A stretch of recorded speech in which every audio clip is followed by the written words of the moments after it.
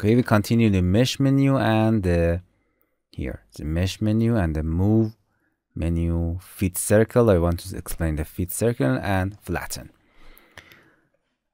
This fit circle is very interesting. For example, in this this model, you want to create a circle or polygon. First, you have to select the desired polygon. So select the polygon wisely. It means uh, select a polygon that you want to exactly create do not select something like this okay?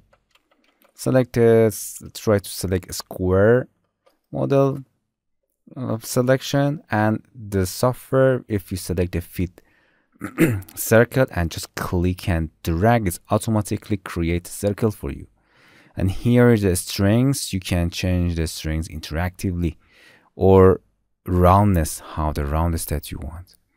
Or if you want to exact radius with a centimeter you can assign it here. You can change the angle of that radius. Interesting.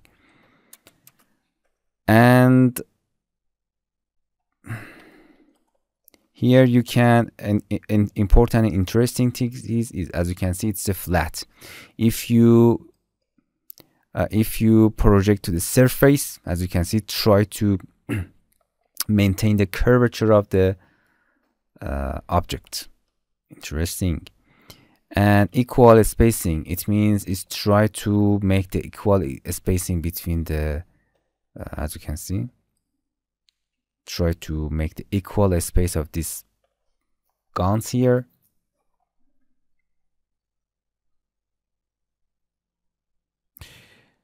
these edges here. As you can see tries to equal the spacing. If you want to select the outline you can select it.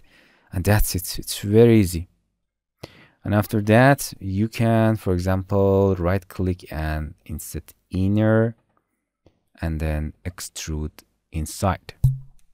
And bring them uh, uh, under subdivision surface. And you have an interesting um, surface here go into the selection tool. And another interesting tool that is flatten. It's flatten the selected uh, polygons. For example, this selection here, you want to you want to remove this curvature.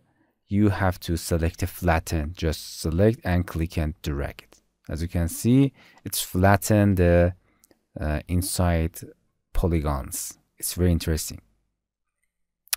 Or you can go and select the for example these polygons here and you can simply flatten them by, by click and drag. As you can see interesting you can you can change the position of that selection. You can uh, change the mode or strings here fit B, uh, best fit or view. It's flattening in your view, your camera. And the normal, assign the normal of the objects. Or modeling axis. You can choose X, Y, or Z. Or world axis. Exactly, it's going to the world axis. As you can see, the both uh, selected in circle will be changed this manner because we select them. You have to select them, deselect the previous polygons here and flatten again. Selected the object and as you can see we can change the modeling axis exactly that x y z or the world axis. Snapped to the exactly to the world axis as you can see.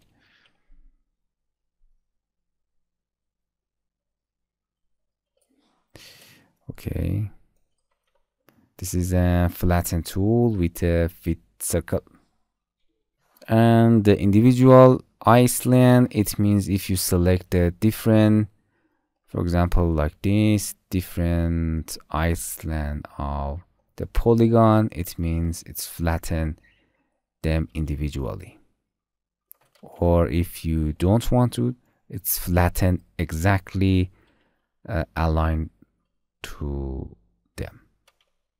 It means it's uh, calculating those polygon in a one uh, as you can see alignment here. To one it's calculating uh, flattened as a one group of the polygon but if you select it individually as you can see they're flattened individually that's nice